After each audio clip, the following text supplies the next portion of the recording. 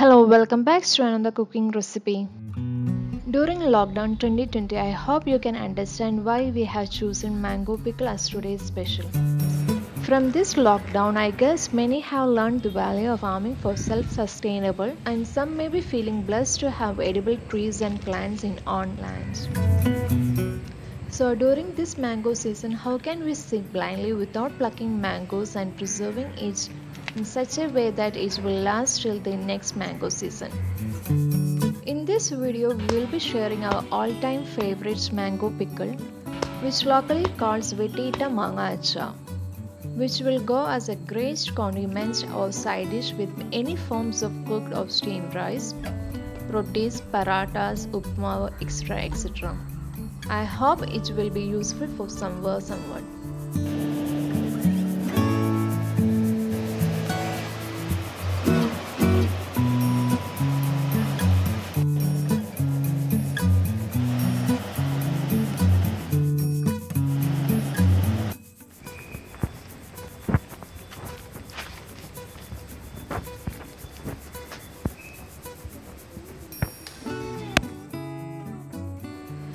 Let's start picking and plucking very firm, unripe mangoes needed for the pickle.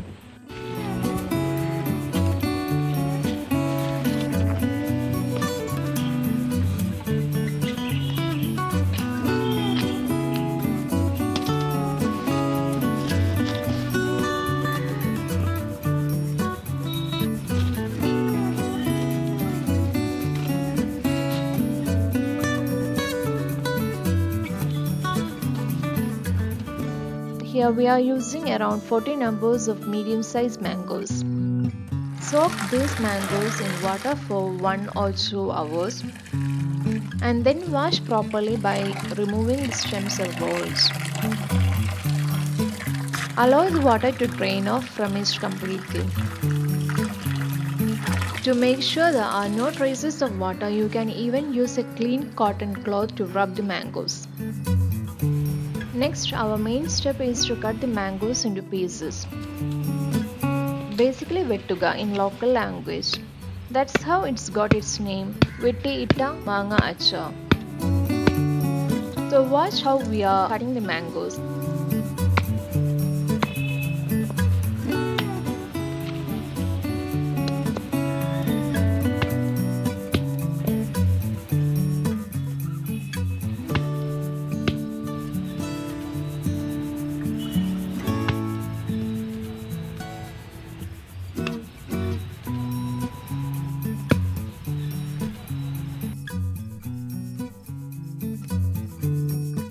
The ideal raw mango is this type green, firm, little matured seed.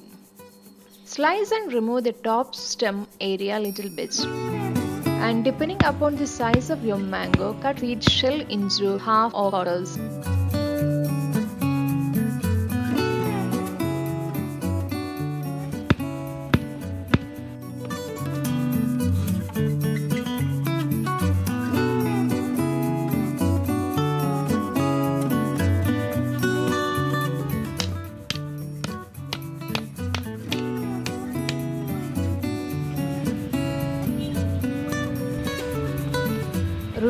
Seed from inside. Then remove the thin layer of skin from the seed pitch and clean the pitch with a cotton cloth like this.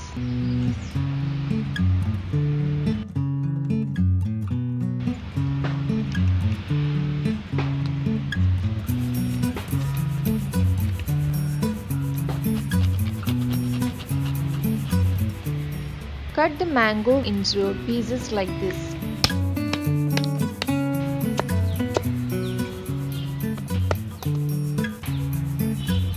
Continue the process till you finish cutting the mangoes.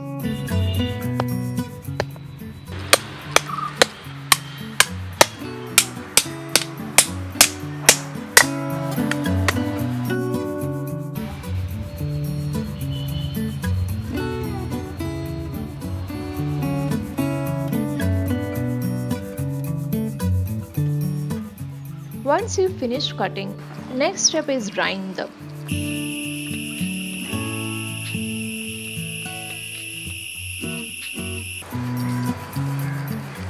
Depending upon the weather in your place, decide the number of days needed for sun drying.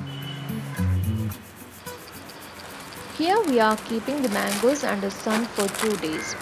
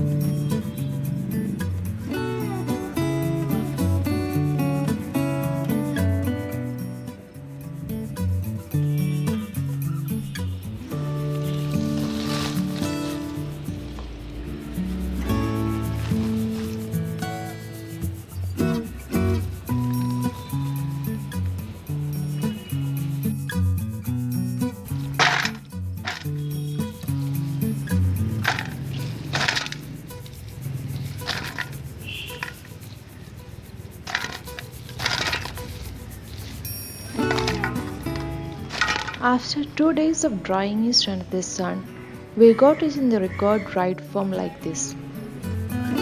Note that we just need the moisture content inside the mangoes to dry up like this. So please don't over dry them.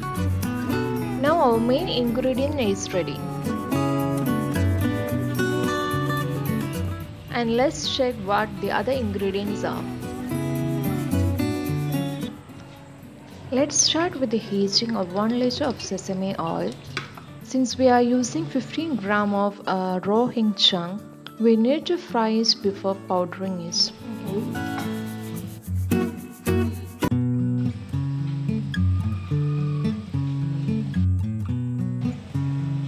So we are adding it to the same oil to fry it.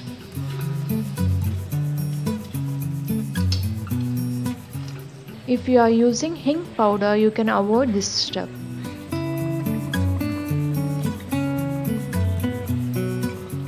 Once your oil become hot, turn off your stove and allow it to cool under room temperature.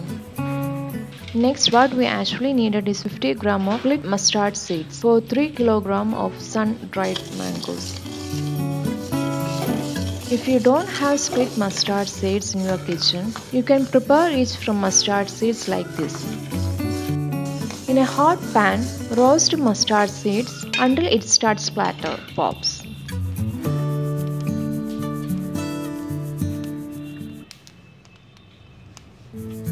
After removing it from the burner, crush the roasted mustard seeds with the bottom of a big spoon or with the bottom of the steel glass with mortar pestle.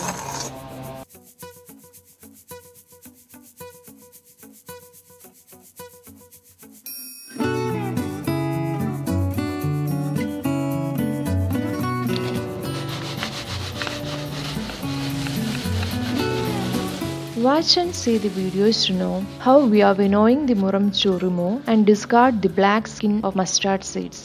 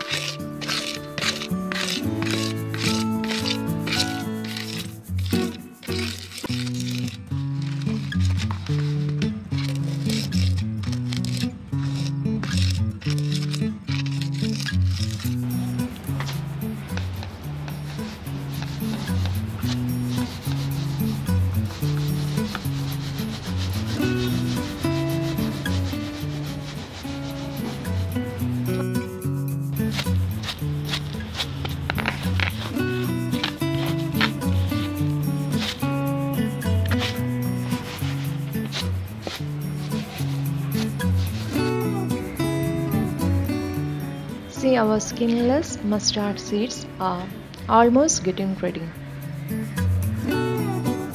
Next we need to roast 20 grams of fenugreek seeds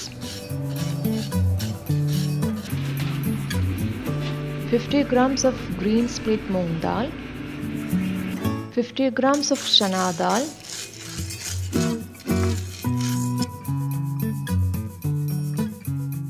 With the help of traditional amikkallu or grinder, grind these roasted items to a powder form like this.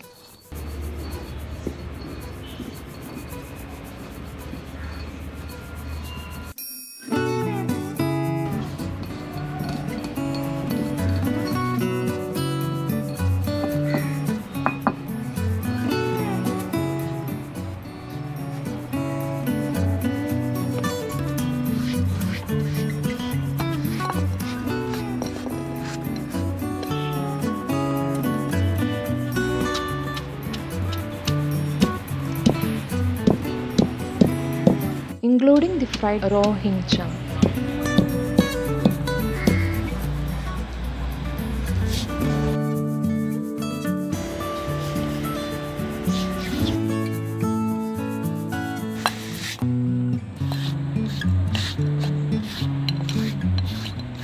Now our all grinder powders are ready. Next, we need to heat 1 3 quarters or 2 cups of chili powder along with 1 spoon of turmeric powder for a few seconds.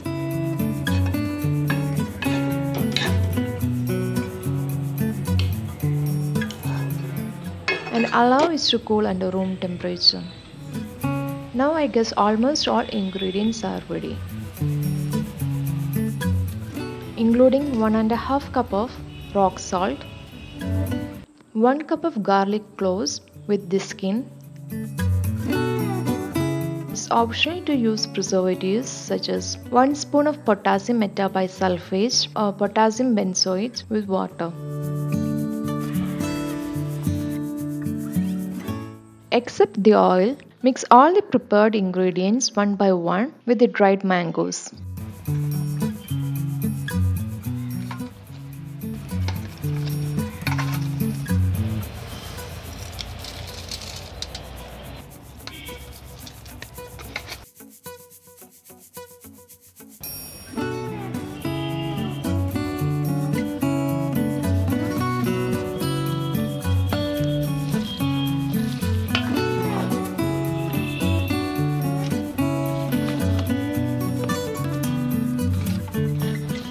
Then transfer it to glass bottles or ceramic pickle pots.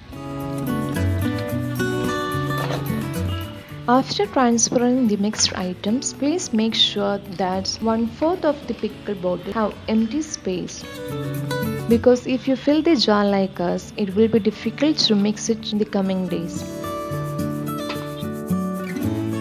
Before pouring the oil, dip a clean cotton cloth in it and keep aside. Now let's add the remaining oils to the pickle jar but for better results make sure that the pickle mix will get soaked well in the oil. Additionally you can even add vinegar also to it. Mix well. Before closing the jar, keep the oil dipped cloth above the pickle. This helps in retaining the oil condensed at the top and avoids the fungus formation. Then close your pickle jar or glass bottle. At least for 1 to 2 months, once in every 3 days, make sure that you are stirring or mixing this pickle mix. As days goes, the dried mangoes will be absorbing the oil and become soft. Mixing the pickle in uniform interval of time makes it soft and tender uniformly.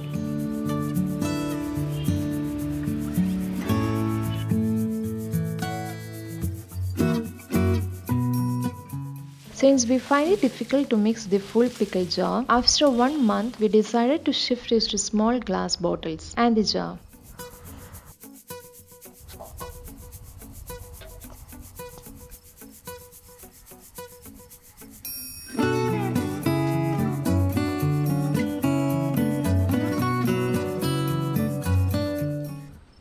This is how it look after one month. After 2 to 3 months approximately, it will become more softer and tender in texture. If you carefully use it, it will last for 2 to 3 years. Believe me, it's super tasty also. If you are trying our recipes, please share a pic of it with us too and comment your feedbacks. Forget to share the recipe link and the pickle to taste with your beloved ones. Thanks a lot for your support. Subscribe if you are not yet subscribed to our channel and press the bell icon for getting notifications from us.